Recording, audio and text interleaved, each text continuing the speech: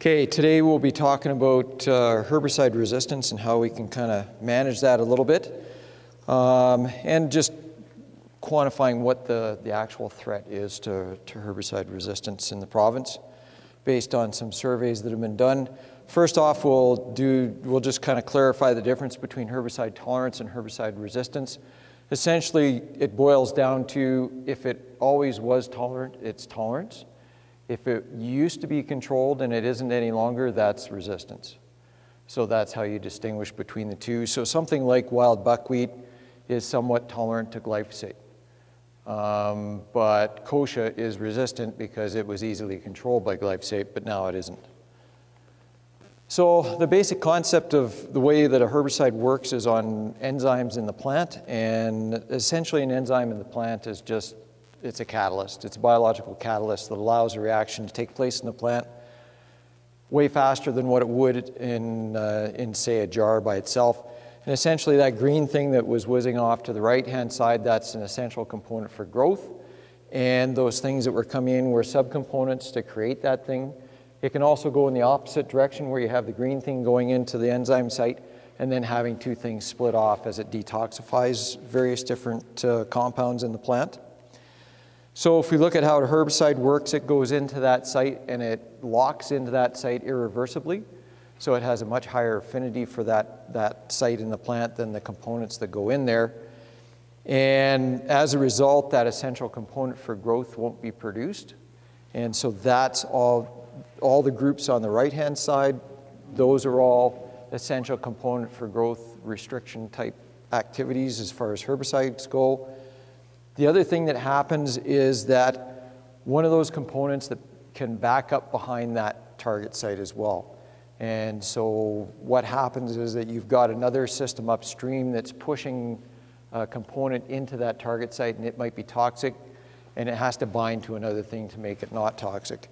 And so if that thing doesn't get bound to that other component, then we end up with that backing up inside the cell and it becomes toxic to the membranes. And typically those are membrane disruptor products.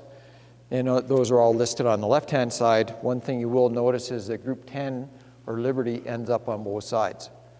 And that's because it, that a consequence of the reaction where you've got the inhibition of glutamine by Liberty, there's a backup of ammonia in the cell as well. So both of those things are going on at the same time. And so you can get each of those reflected in different circumstances depending on the situation. So sometimes you'll see a plant where it's been completely desiccated, and other times you'll see a plant that has a lot of white on it. So it's, it's an interesting uh, concept in that regard. So with resistance, what we get is a mutation to that target site or to some, in, some proteins that are very closely associated with that enzyme site. And as a result, it blocks that herbicide from going into that target site. And, per, and then those other components are allowed to go in there and then come off, and the essential components are produced.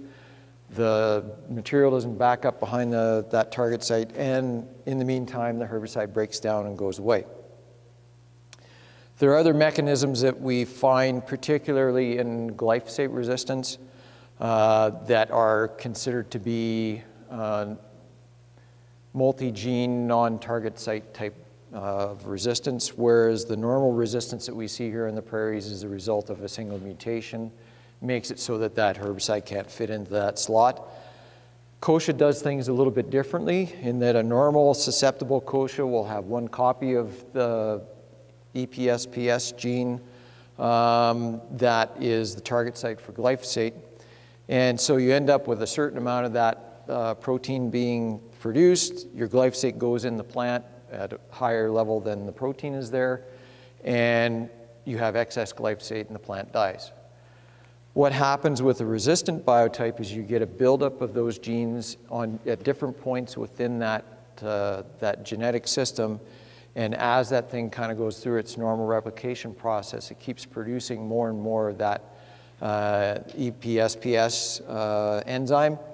And as a result, when you add your glyphosate that you would have before at the normal rate, it ties up all the glyphosate. And there's lots of that enzyme left over for the plant to function quite normally.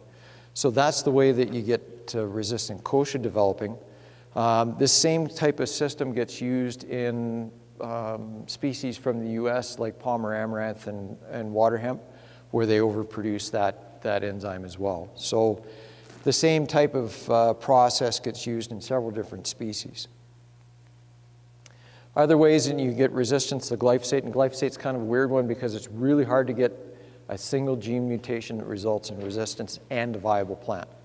Typically, if you get a mutation to that EPSPS target site, your plant tends not to thrive very well. And so some of the first resistance that they saw was like that. If you get two mutations happening at the same time, which is very, very rare and unlikely, then yes, you may get um, complete resistance and decent tolerance. You can also get reduced uptake and translocation of the, uh, the glyphosate itself. So it doesn't penetrate the cuticle, and once it gets into the cell, it doesn't get trans translocated very actively within the plant. Um, there's another interesting process that they found in some plants where as soon as that, that glyphosate gets applied, the plant recognizes that as a threat. And there's this concept called sudden death syndrome that allows a plant to defend itself from diseases normally. So if a disease infects that, that plant leaf, it kills that leaf right away and the leaf drops off and, and the disease is gone. So it does the same thing with glyphosate.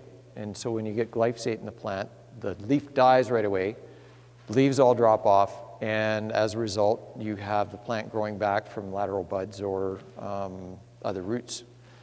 And so if it's an annual plant and we're applying at the proper time at a, at a smaller stage, that's not so big a deal because it kind of just acts like a contact herbicide. But in the corn growing regions, what they'll do is they'll let their weeds get to be about that tall before they end up controlling them. And then this kind of process kicks in. Another system is vacuole sequestration. And to understand what a vacuole is, is that just imagine we've got a circle here, and then inside that circle, we've got another, another container. And essentially, a vacuole is just the garbage can of the cell. So all the junk goes in there that the cell doesn't want and it gets isolated from the rest of the cell so it's not toxic to the cell. On the outside of uh, cells in a plant, there's a thing called an ion pump. And that ion pump helps move glyphosate across that membrane and in, into the cell. So what the plant does is it transfers that type of mechanism from the outside membrane to the membrane of the vacuole. So as soon as it translocates that material into the cell, it pumps it into the vacuole right away it's isolated, and the cell doesn't die. So it's, uh, it's a very interesting uh, process. The one challenge with that is that if we happen to get a plant with that kind of mechanism, it will also be immediately resistant to glufosinate or Liberty. And so we'll end up, if it happens to occur in a canola field, we've now lost about 95% of our herbicide tolerance options in canola as a result of that type of, uh, that type of change. So we have that one mutant in the field, so what happens that it gets to be a problem? Because one small mutant plant that survives is not going to be an economic issue. So what we end up with is we've got our one plant that will survive our application.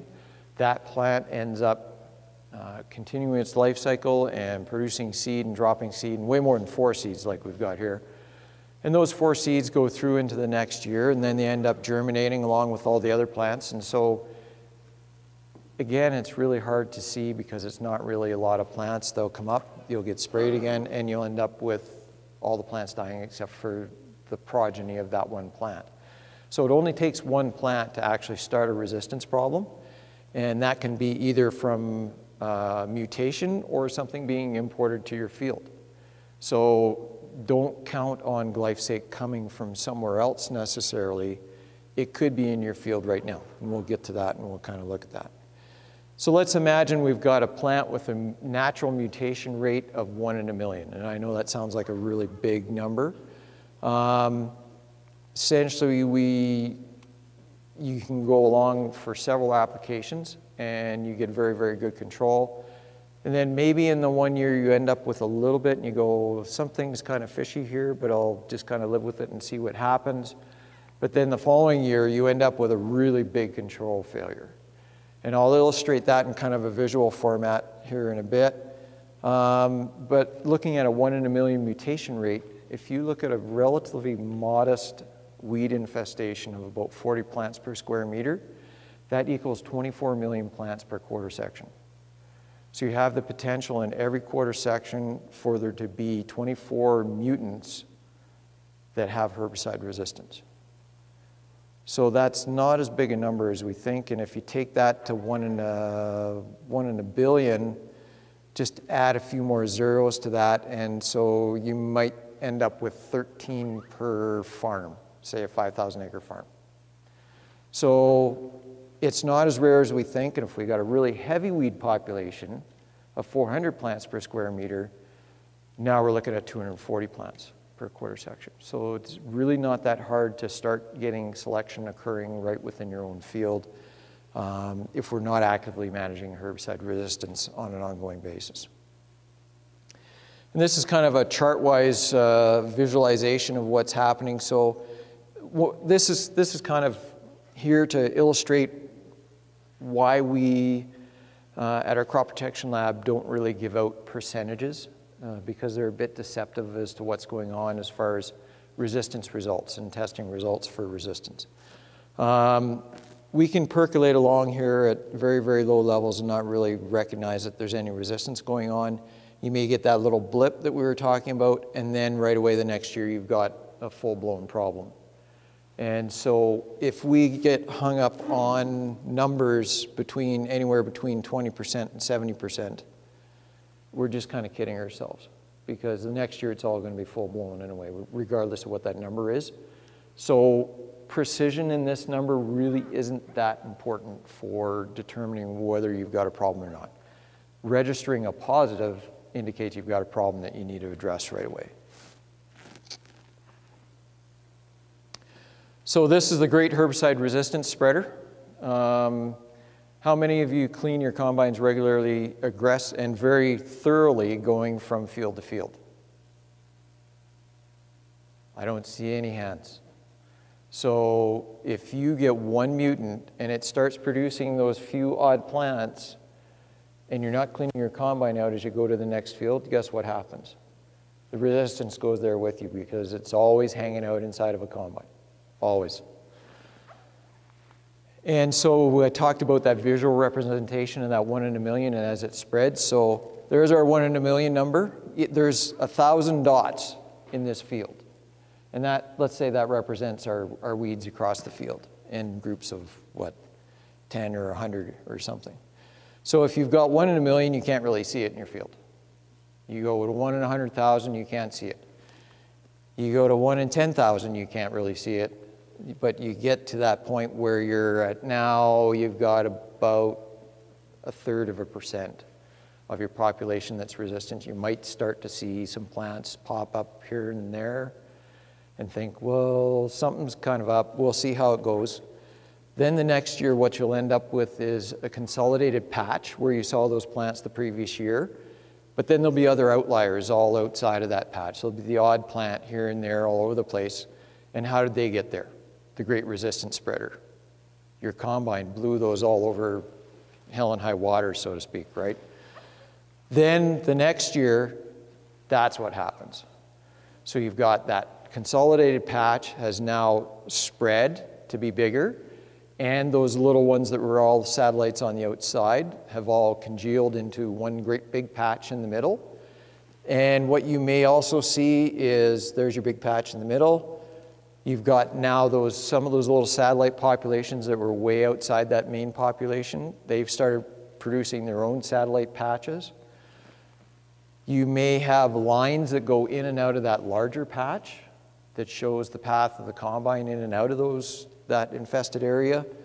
You may end up, so that arrow is your entrance to the field. If you brought it from somewhere else, you may see it show up starting at that gate and going whatever direction you go with the combine. And that may be where your patch shows up first. Or you may see it running with a water run through the field. So those are different patterns you'll see in the field when you have something like resistance going on, uh, or a new weed for that matter. So how do we tell the difference between an application miss and resistance in the field? Application misses will typically be very geometrical. They'll be very straight lines, they'll be very defined boundaries And resistance patches will be very diffuse, and so you won't have any real solid boundaries, but you'll see some pattern where it's kind of moved with the equipment through the field, and you'll see a kind of a general pattern that way, but nothing really sharp boundaried. The other thing to look for is that if you've got multiple resistance in that miss, then that's likely a miss with the sprayer. But if you've got one species that isn't being controlled and all the other ones are being controlled, it's a good chance that's resistance because it's very unlikely you're going to get multiple species develop resistance to a herbicide at exactly the same time. So those are the things to look for in the field. Here's an example of a resistance patch in Australia of rigid ryegrass. And the Australians are really um, quite experienced with resistance. So there's our main patch there. And so this would be the year before the full-blown problem. But we've got our main patch, but notice all these little satellite patches here, there, there, out there, way over there, way over there, way, way back in there, over here. So that's what I mean by you've got all those little individual plants all popping up all over the place and forming their own little patches. And with kochia, it's got its own mobility system, so you'll see it running in lines. If you got a line in your field, don't try and wait to deal with it if you see something like that showing up in your fallow field, get in there with a mower and a cultivator and knock that stuff down and get rid of it right away. Otherwise, you're going to have a full-blown problem in no time at all. So resistance across the world has been increasing pretty linearly since about the early 80s, and it's continued to do that year and year and year and year over year. What about Canada? We're following the same general pattern as the world is. And then if we look at Saskatchewan, these are the last three weed surveys that we've got in the province. And this is uh, essentially fields with at least one case of herbicide resistance. And that's only group one and group two. That doesn't include all the other groups that are out there as well.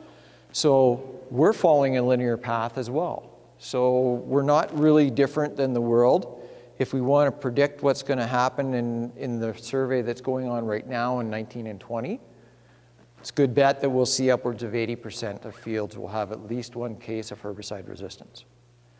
So everybody's going to be impacted by this pretty darn shortly.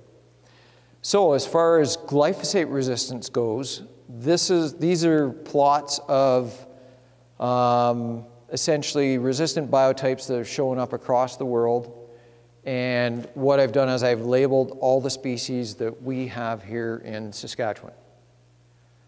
All those black letters are all weeds that we have here in Saskatchewan. And so we know that we do have kochia that's resistant now in Saskatchewan. And notice how it wasn't very far behind when kochia developed elsewhere. And typically that's going to be in the US. Ours was a unique source of resistance. It didn't come from somewhere else. It was bred here. So it, it's, it's not an import. We've also got all these other plants that are all over the place. Annual sow thistle, wild sunflower, prickly lettuce. We've got gobs of those things all over the place. So the chances are that we could be seeing resistance to those uh, as well. Uh, Australia is just reporting their first case of wild oat resistance.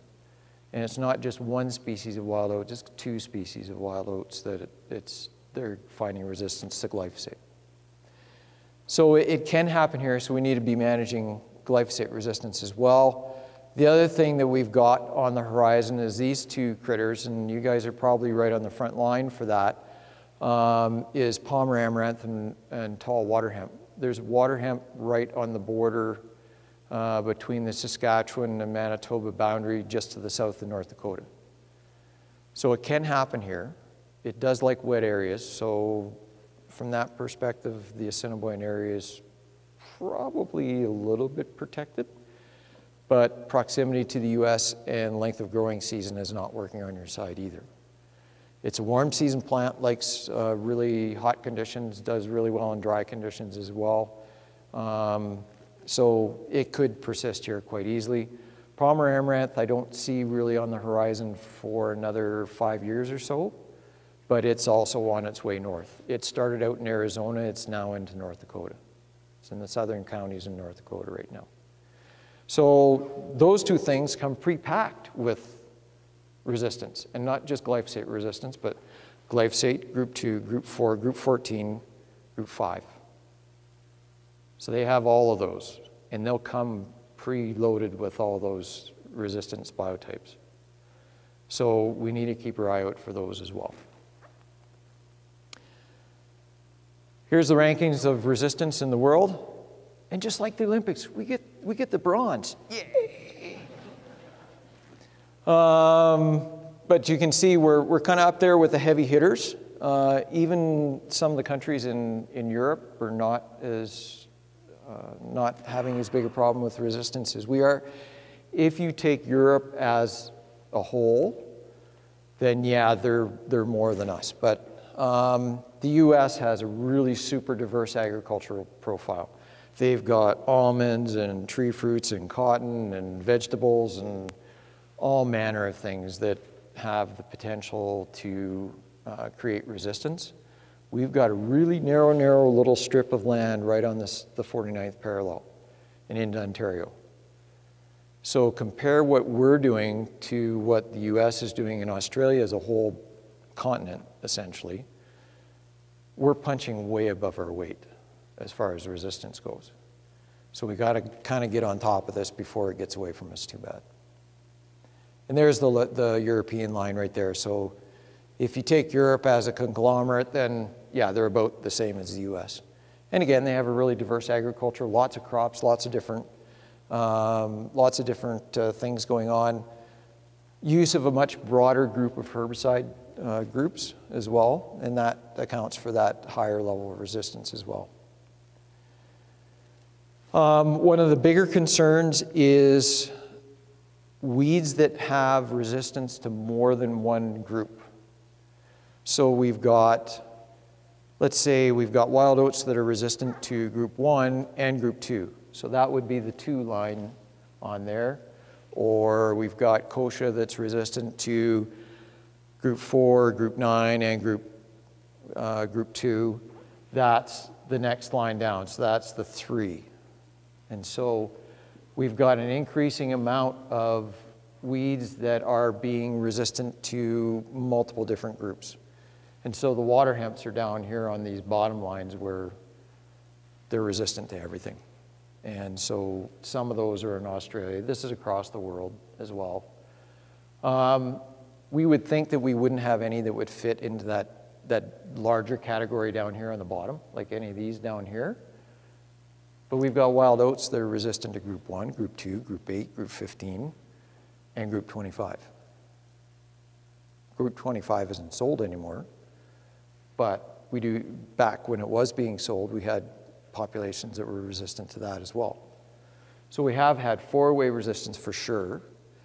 We've got a population in Manitoba that's being reported as being resistant to group 1, 2, 8, 14, and 15. But 14 is not really fair because it doesn't really control wild oats all that well on its own. So does it really count? Eh, probably not. So I'll, I'll give that one a, a pass. So we saw this chart before and where it's heading. Um, again, just continuing on some of those survey results. Um, and there is, like I say, there is a survey that has gone on in part of the province this year. We'll finish off next year. And then those results, they'll be screening those over the next couple of years. So the results probably won't be out until 2022, something like that, from that survey. But these are the last three surveys that we've had uh, in the province and what the level of resistance from a percentage basis is in those samples that were collected from those fields. And we can see that group one is on a linear path upward. And I would be inclined to predict that there'll be 70% of fields that have a group one in them by this year. Group two, we'll kind of give that a break because we really didn't have a whole lot of um, a large number of Group 2 options that span the full rotation, let's put it that way, uh, until into about the mid 2000s. So when we look at 2009, that's probably our first reference point for resistance, but we're probably looking at about 40% Group 2 And then if we look at combined options, that doesn't fall along very far behind the group two line. So we're looking at maybe about 30% that have uh, two-way mix, wild oats, and uh, group one, group two mix. Group eight, they didn't assess in 2014-15. Don't ask me why, but they didn't do it. So we don't know what that number is. It could be 10%, it could be 30%. We don't know until somebody does the test. So they're trying to catch up on some of that now. Um, and then we'll figure out where that sits and then where does a three-way resistance go from there, right? Other things that came out of that survey, 15% um, of all fields that were uh, green foxtail was collected, which was 40 44%, or 15% of fields had group one resistant green foxtail. That was 44% of the samples that were tested. Um, and Manitoba has the same thing. 21% uh, of all fields have group two resistant green foxtail. And the group two is a little bit unique in the sense that the group one is that single target site mutation. The group two, they figure it's metabolic. So when you have metabolic resistance or multi-gene resistance, now what you're looking at is something that um, will very easily jump from one group to the next and be able to break down all the herbicides. So that one's kind of a scary uh, result.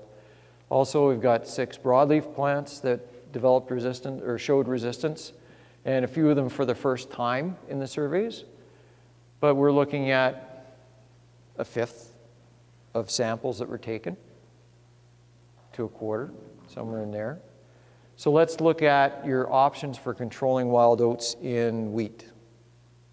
So these are all the products that are registered for control of wheat and their active ingredients. I didn't put in any of the box mixes, and if I did that, then that would multiply that number by a substantial amount, especially in the top group, top and the two top groups.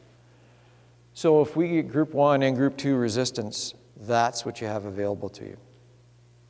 So now you're down to the soil active products. You got nothing post-emergent. And because they didn't do that testing in that survey in 1415, we don't know where that is and whether there's multiple resistance there. So if you have multiple resistance there, that's all you got left. And oh, by the way, if you grow durum, you can't use that. So now you got nothing to control wild oats and durum. So that means you got to deal with those things some other way.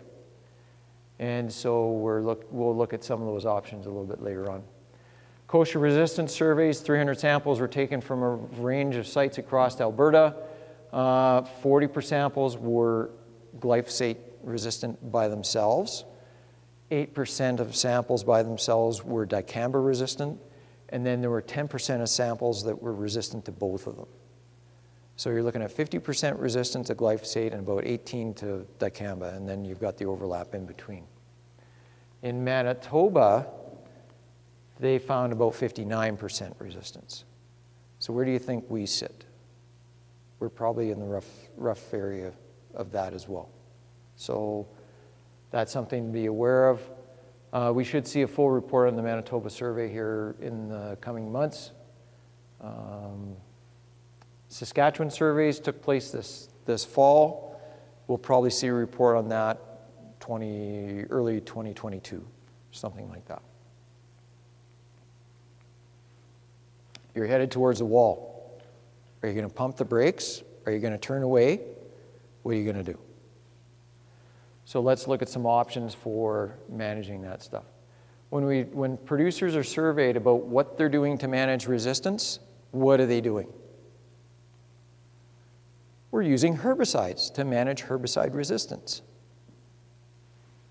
And oh, by the way, we're rotating crops so that we can use different herbicides.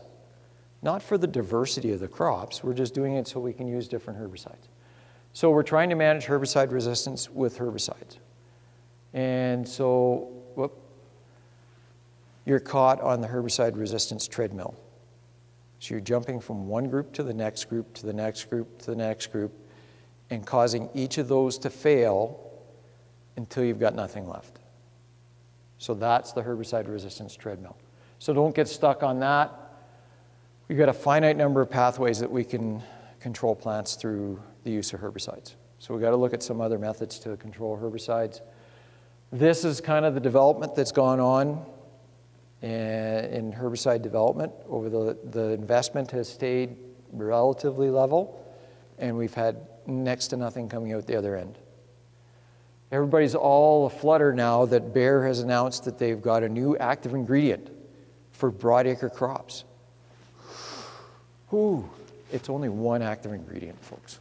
It's not going to save the world. Um, and they're looking at it's not going to be here tomorrow, it's going to be here 10 years from now if it makes it through the regulatory infrastructure. And they're also at the same time, they're looking at um, doing genetic engineering on crops to allow the, the crops to tolerate this thing. So it's obviously non-selective. Um, so what crops are they going to work on first? They're going to work on corn. They're going to work on soybean. They're going to work on rice. They're going to work on cotton. Maybe canola because they've already done it. Is it going to be wheat? I don't think so. Unlikely. Um, so you're still kind of swimming around in a pool of mud. Um, and using the other group one like clethodim, that's not a long-term option. So you want to, if you have group one resistance, but you still have activity in clethodim, hold on to that thing like a rare gem. Don't overuse it and lose that one too. You want to save that one for special circumstances. Um, and jumping from the frying pan into the fire with group twos is not really going to be a long-term solution either. Uh, we've got three-way resistance uh, in kochia. Um, we've got lots of uh, plants that are resistant to group 2 herbicides, and we're getting more and more every day. And so those ones are going to, on some major weeds too, by the way. Once a weed is resistant, you can't reverse that because there's very little penalty to that plant for having resistance. So once it's got it, it hangs on to it. And if it's, even if it's one of those things that the plant loses a little bit of vigor, even if you were to never work that field again, you were to put it into pasture and just leave it, that population wouldn't revert back to a nat natural population for at least 100 or 200 years if you did have some reduction in vigor of that resistant biotype. So that's not going to be something you can hang your hat on either. A low level of resistance is not a bad thing. That's natural. But it's the way you manage that to maintain it at a low level is the real key. So, strategies to manage herbicide resistance. I do another presentation for another group of producers, and I'll unveil this at the end. You can probably guess it as we go through, but we'll look at different methodologies for managing weeds uh, before the herbicide goes into the field. I'm not saying you need to eliminate your herbicide, but use other strategies. Don't just rely totally on the herbicide. Prevention is the easiest thing to do. We talked about our combines. Spend 15 or 20 minutes blowing the back end of your combine out, blowing off your combine with compressed air. Can clean it out outside and inside. Make sure you're not moving this stuff around um, so that if you do get one field that gets a problem, you're not moving it to the other fields right away. Start with clean seed, either buy seed from a certified seed grower or have, it, have your own seed clean to that specification so that you're not collecting seed one place and planting it in another place. Um, we talked about that. Uh, early detection rapid response, that's a new buzzword that's around for invasive plants, and essentially resistant plants are kind of invasive in that sense. So you want to um, catch these things immediately. So you want to be like just watching like a hawk for anything that gets missed. And if it gets missed, if you see something that's odd, Don't just drive by it and deal with it another day. Stop, get out, pull the thing out. Don't let it go. Don't let it produce seed. Uh, manure should be um, composted. If it gets to 60 or 70 degrees for a few days, 98% of the weed seed in there is dead. So that's a very effective way. And uh, liquid manure pits, very few of the seeds make it, make it through liquid manure either. Make sure your field boundaries are clean. So if you've got like a saline patch that there's kochia in and you're going around that patch, deal with that somehow. Don't just leave it there because that's how that resistant kochia gets um, gets developed is that because you're going around that patch with the sprayer, you're getting a, a sublethal dose blowing into that area. And so now you're selecting for the ones that have two of those genes, and they cross with the brethren that have two of those genes, and they're in different places. So now you have ones that have four of those genes, and so it keeps going on and on and on until that population can move out into the field and infest those other areas and tolerate your full rate of herbicide. So deal with those boundary areas or low areas that aren't being cropped, put them into competitive, for, competitive forage grass and just leave them. Resist the, the resist the temptation to, to till them up, especially on years like our past few years where it's been really dry, and those are the places that have moisture. If you've got saline patches, don't try and farm them because you're probably not getting any enough yield out of those to warrant the cost that you're putting in there. And if you're fertilizing through those patches and not getting the yield out, you're making them saltier because fertilizer is salt.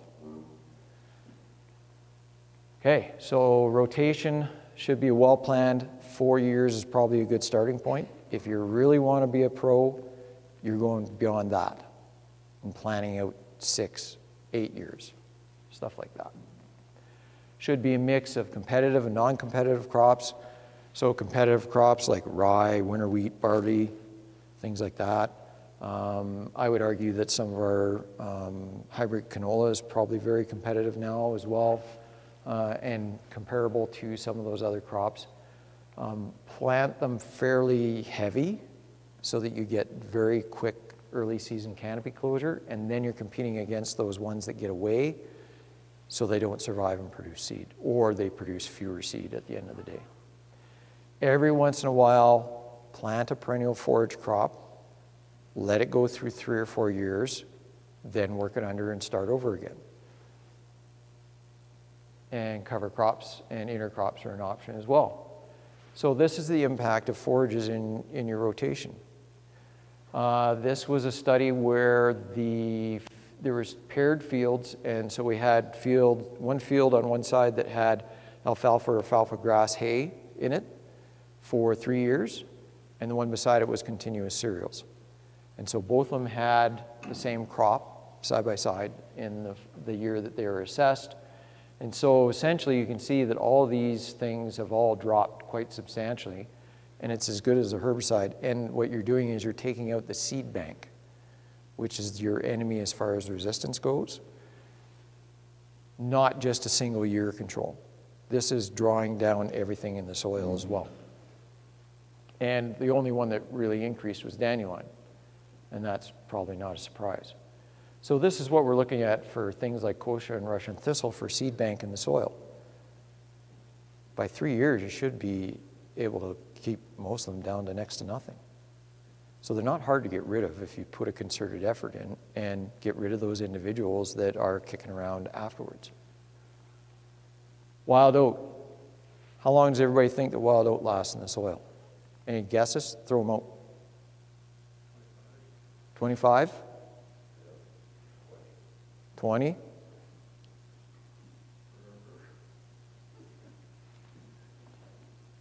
Okay, what we're doing is we're going from shallow to deep in this progression. So the color is down at the bottom. So we go from less than two inches, two inches to eight inches essentially, and then deeper than eight inches. So for the first year, you've got a, quite a bit. It drops very substantially after the first year. especially if it's in that two to eight inch range. At the, the less than two inch range, if it's sitting on the surface, it's very susceptible to things like birds and mice and uh, carabid beetles that Chris Willenborg is working on at the U of S, um, decay from diseases, things like that. You get really, really high mortality of those seeds when they sit on the surface. So leave them there.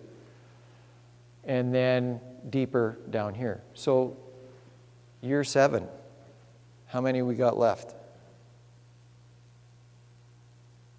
Next to none. So everybody assumes that they last a long, long time, but the vast majority of your seeds are gone within three or four years.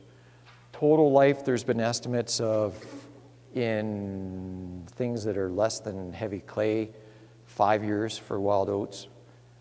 Really heavy clays, you're looking at nine years maybe. And that's because it's, it's essentially a storage refrigerator. You have those seeds sitting in that heavy clay soil. It's like being in a refrigerator. So they're not as hard to get rid of as you think. You just have to be diligent about getting rid of them and not let anything survive. We did some work with uh, Indian Head um, Research Farm. Uh, we also did some work with um, several other of the AgriArm sites um, and looked at differences in row seeding, row width and seeding rates and the impact on our model weeds were our oats and tame mustard to represent wild oats and wild mustard. So we looked at 10, 12, 14, and 16 inch rows, and this is a neat little seeder that they have there at Indian Head where you can just crank a spool and you can move those rows in and out to whatever width you want. And then they're fed by a Gandy unit up on the top there to deliver the seed and the fertilizer. We had our base rate of 25 plants per square foot, and we looked at 75% of that seeding rate 100, 150, 200% of that seeding rate. And essentially, if the long and the short of it is that all the other sites that only had two row widths essentially reflected what we saw at the Indian Head site. So I'll just show you what happened at the Indian Head site. So this is essentially a picture of it. This was a demo that was a couple of years before the, the work that we did this past summer. Um, if you look on the right-hand side here, here's the check with the tame mustard and the tame oat. This is the two times seeding rate with on 12-inch spacings. This is the half time seeding rate. This is, again, a different demo, but you can see the weeds up and down through the, the wider rows here at the lower seeding rate. So shorting on seed is not really saving you anything. You're just, you're opening it up for more weed infestation. So you're going to end up with higher numbers of weeds getting through that and more escapes, producing more progeny and getting ahead of everything. So early season weed biomass. So this is essentially, you're looking at about six weeks after planting. And so this is the biomass of the weeds. Essentially on the left is row spacing all the time, on the right is seeding rate. And if we have, see that P number up on the the top there, if we have that as 5% or less, then that means it's significant. If it's more than that, it's not significant. So the row spacing is almost significant. And if you look at it from the linear perspective, the p-value is less than that, that 0.05. So that's a significant result, but there's no significance on the, the seeding rate. So Early season biomass, essentially it reduces the biomass at the narrower row spacing, so at the 10 inch row spacing. For a visual assessment of weeds at the end of the season, again, narrower row spacing, significantly better, uh, lower weed population than wider row spacing, and in this case, also higher seeding rate lower weed infestation levels than the lower seeding rate. Uh, wheat head density within those stands. And this is a bit of a complex curve. So uh, the low seeding or the narrow row spacing is the red diamonds. And so that's this line here. And so what we're seeing is that at the narrower row spacing, we're getting more of a response to seeding rate changes than we are at the highest or widest row spacing. So essentially the widest row spacings here are flat and our narrow row spacings are responding to higher seeding rates as far as um, the head density of wheat. Uh, crop maturity, uh, narrow row spacings are day, day and a half earlier, and higher seeding rates are day, and, day or day and a half earlier. Not a huge amount, but it's something. Um, and ability of the crop to compete with weeds, essentially what that is, is it's the dockage over the total yield. So the percent of your, um, percent of your sample that's dockage subtracted from 100%. So um, the higher the number, so the narrower your row spacing, the more your crop is able to compete with weeds. Same with higher seeding rate, more able to compete with weeds. And so these numbers are very, very significant here. So they're like well below that, that 5% level. Crop yield. Seeding rate, not so much, flat. So from that perspective, mm, from the row spacing perspective, we are getting a yield bump, and pretty, pretty significant one as well. So we're seeing a benefit of, of narrow rows from the perspective of overall yield, and test weight as well. And so why are we buying seeders with wide rows? For engineering reasons, not for agronomic reasons. It's essentially to allow straw to go between. And now Bourgault's figured that one out.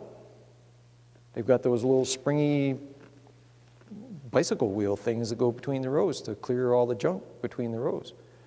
So why do we need wide rows now? We don't. Okay, um, cropping practices.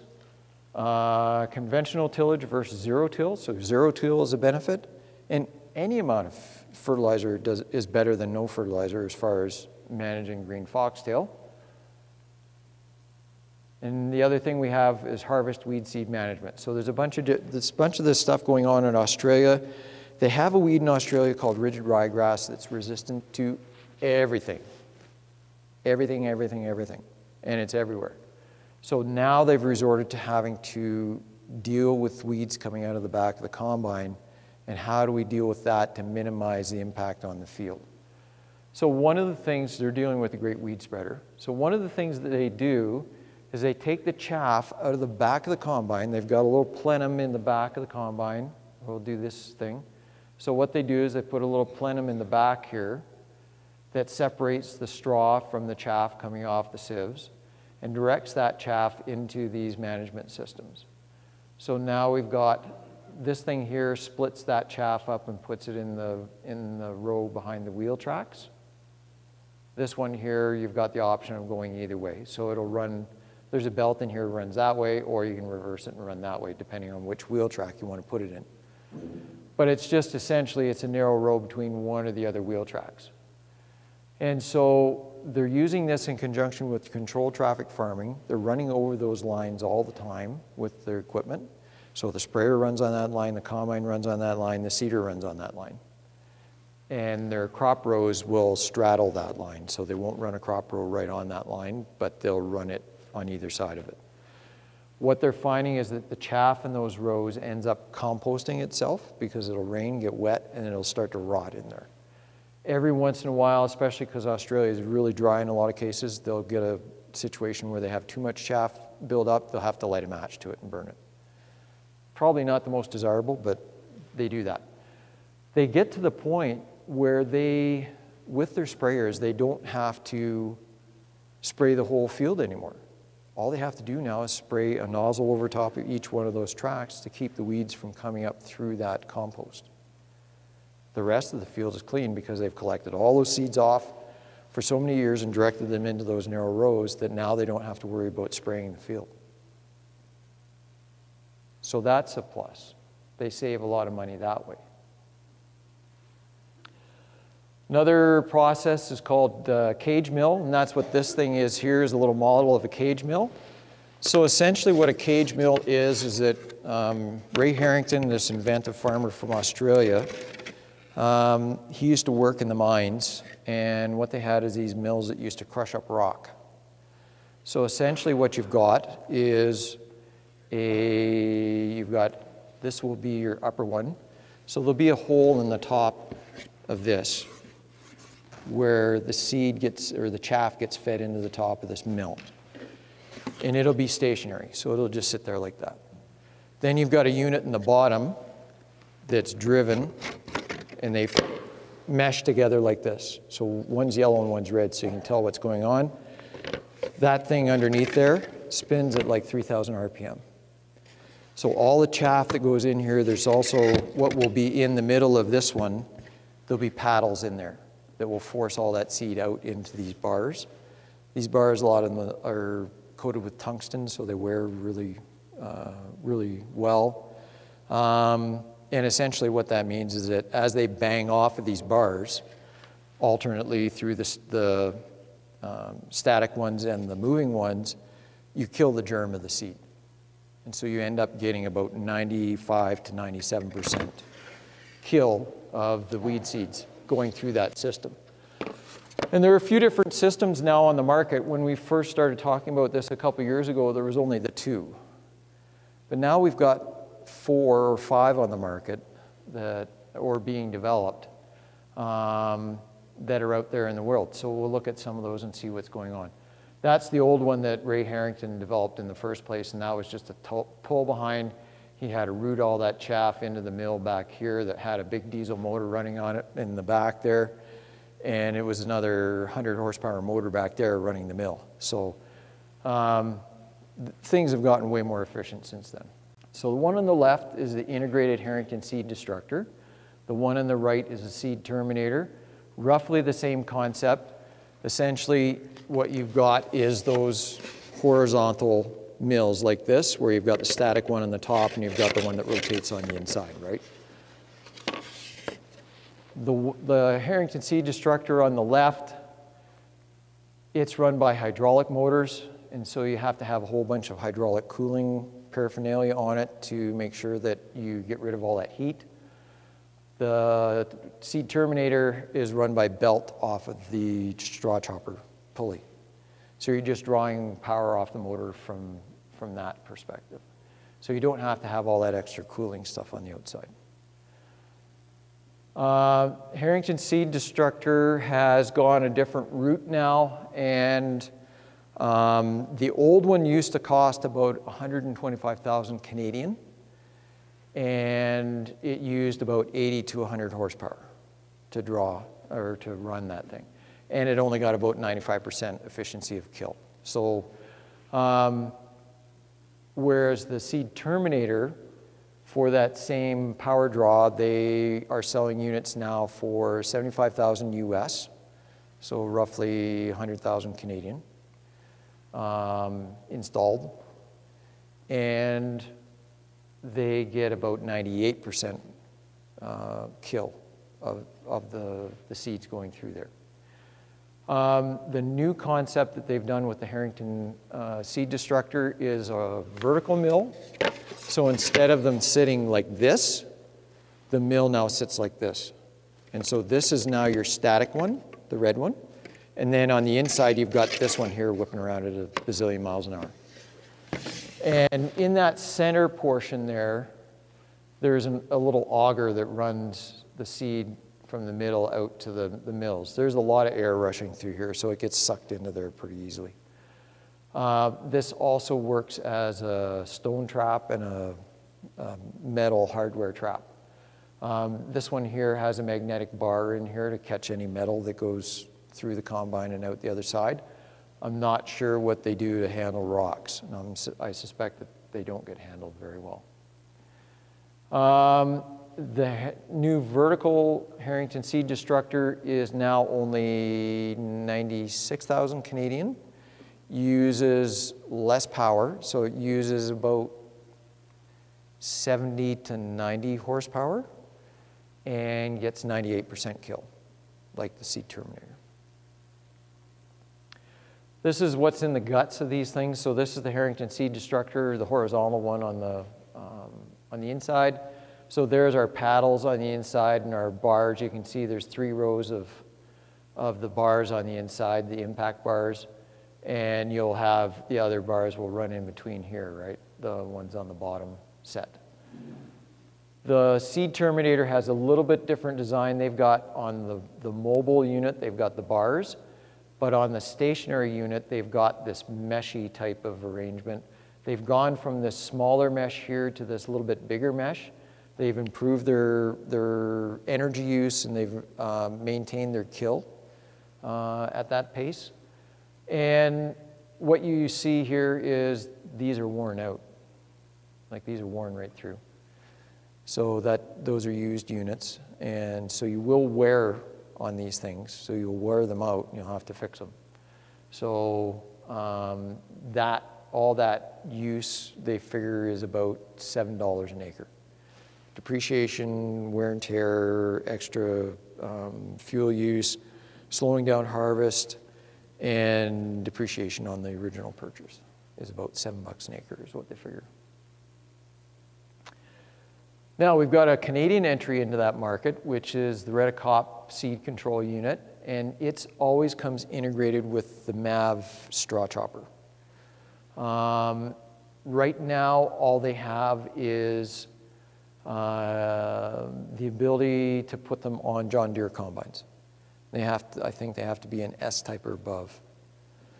Um, generally, these things fit on class seven and up combines and the old, they're harder to retrofit to older combines and lower horsepower combines.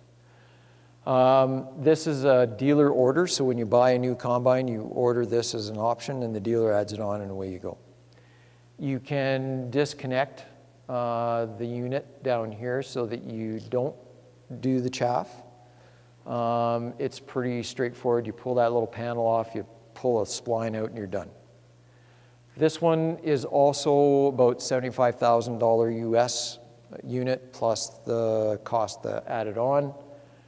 Um, and it works kind of like a hybrid. We'll see the guts of it in a second. Kind of a hybrid between the Harrington Seed Destructor and the uh, Seed Terminator. This is a new one that's being developed in the US by Tech Farm.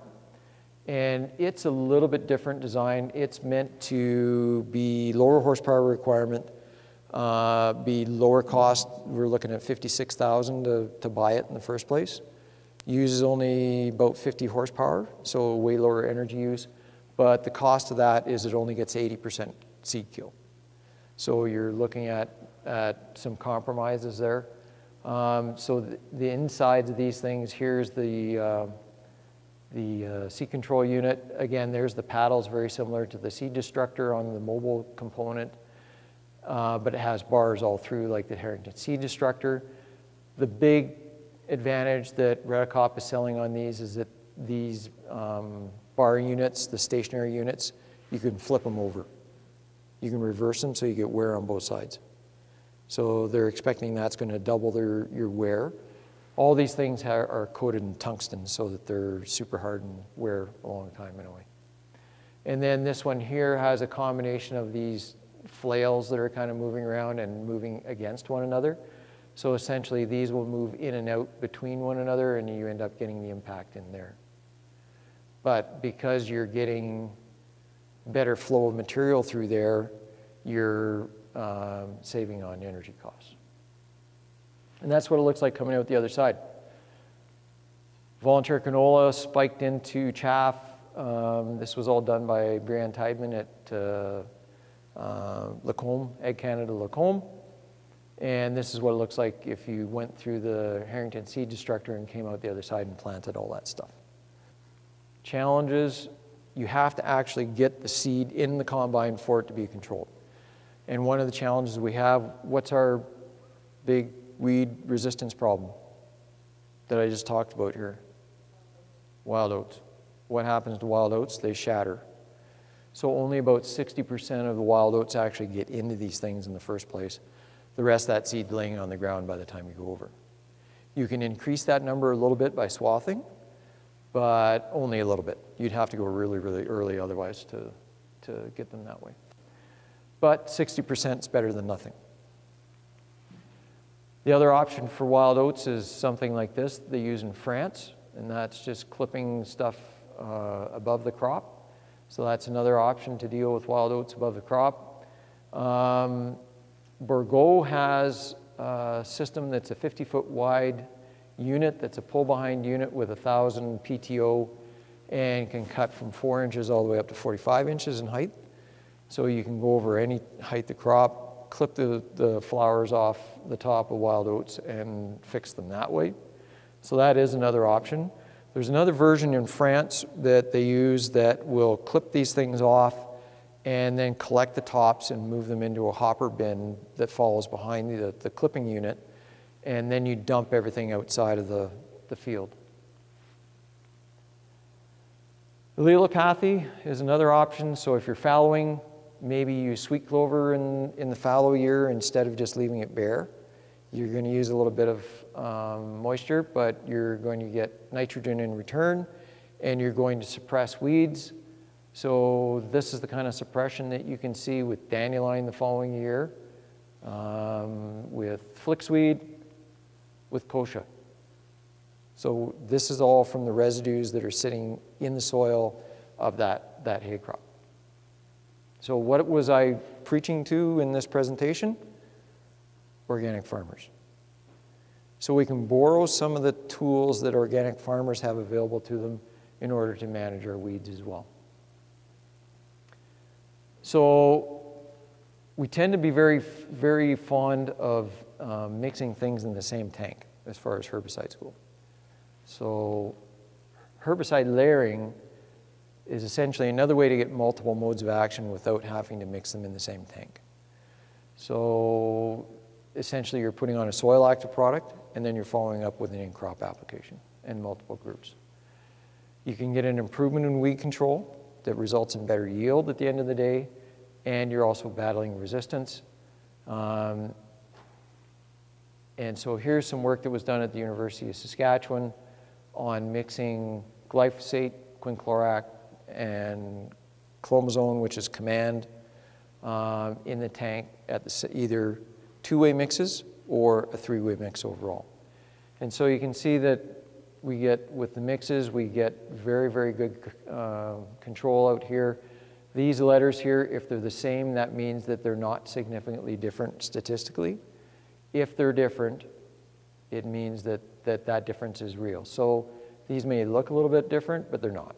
These may look a little, little different, but they're not really within the realm of error that's in the field or variability that's in the field. So that's something to kind of keep track of when we look at up here.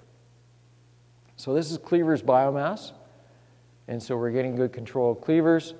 And this is contamination in the seed lot. And essentially, that's one of the biggest challenge for crushers is, is cleavers contamination in the seed and it's because it scores their rollers that they use to crush the canola with. So they don't want cleavers contamination in their canola.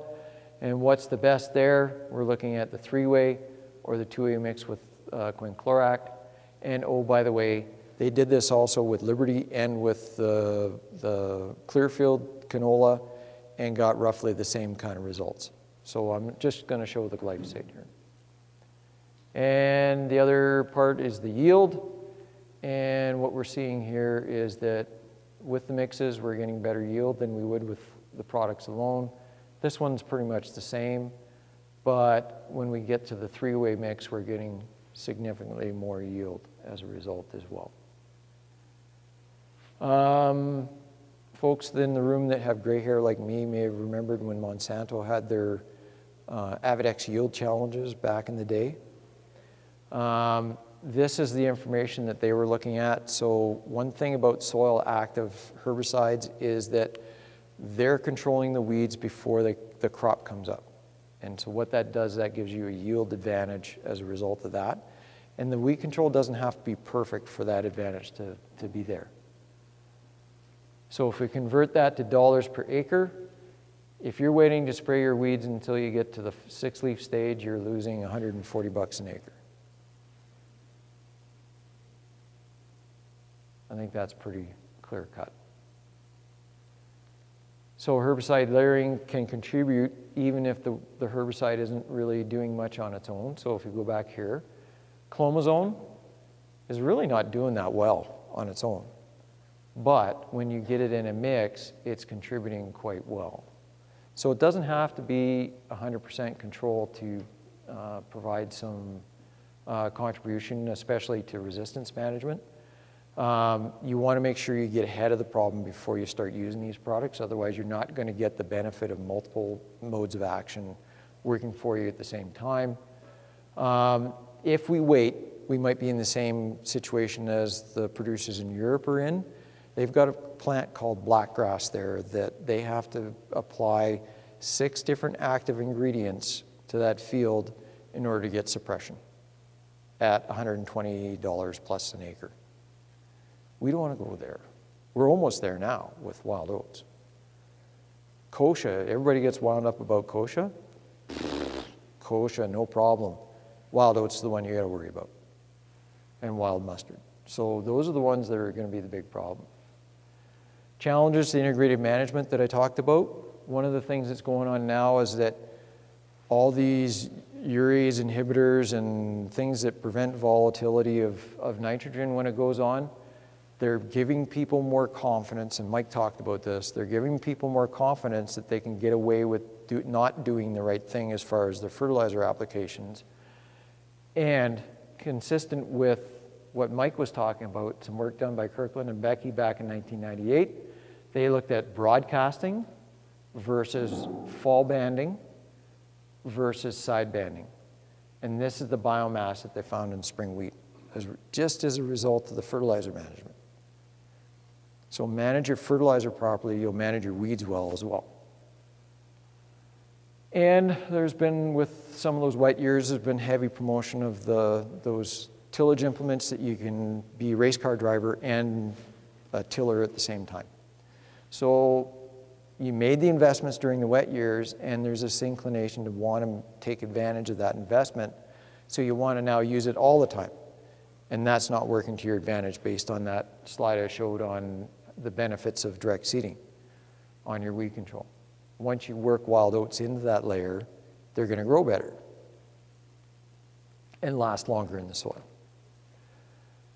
Uh, commodity prices haven't been our friend as far as having a diverse rotation, so that's been a challenge. And we now have commodity organizations that are kind of competing for clients, so to speak. And so they're promoting their, crop, their spade of crops above others and not really looking at the whole rotation in some cases. So that goes on as well. Um, but I think integrated solutions are the way we have to go if we want to keep the tools that we have in our toolbox right now.